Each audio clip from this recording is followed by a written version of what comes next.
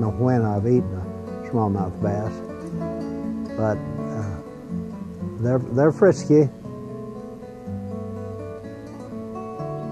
I gotta say, the biggest one I ever caught up there in Lake of the Woods was six pounds, and I caught two back to back, six and five, six and five twelve. I think he weighed six two. I think two of them weighed twelve pounds. But anyway, most of them run from pound and a half up to about three and a half. I use that. Uh, I use quarter ounce jig head uh, with a reaper tail on it. There you can see that reaper.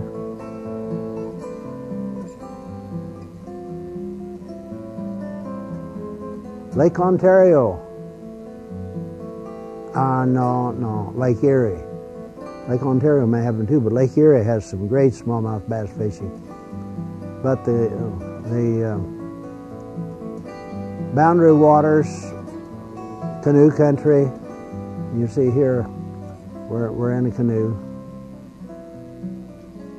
use light stuff. We have an ultralight rod we designed for it, two-piece rod four pound test line. Of course, some people want to use six, that's all right. You can see the ominous looking clouds in the background, and it, it was chilly that day.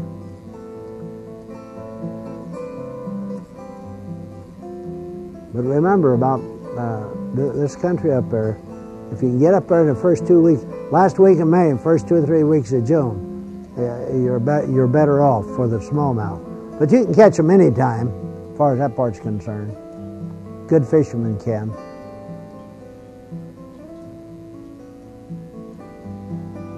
Smallmouth bass fishing and southern Ontario all, all across.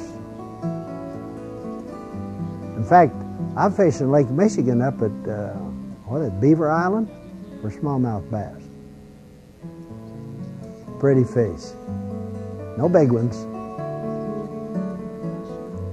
We're going to take a time out now. But you stay with us because we'll be right back.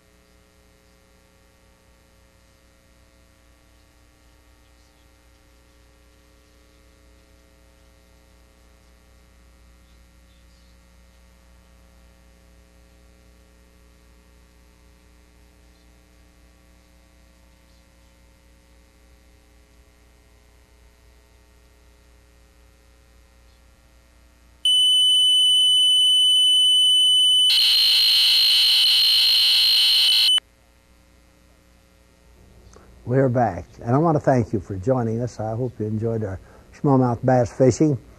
It was not the best time of the year to uh, do the smallmouth bass fishing, but sometimes uh, you have to do it when you can. People say, "Oh, you only go to a place when it's the best. You only go to the best places." Well, I, I like to go to the best places too, and I like to go at the best time.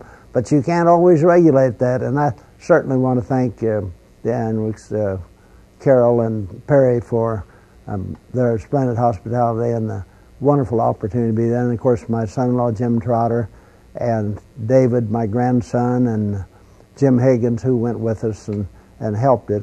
Because I, I really had a problem last year after I broke my leg. You know, I hobbled around like uh, just just.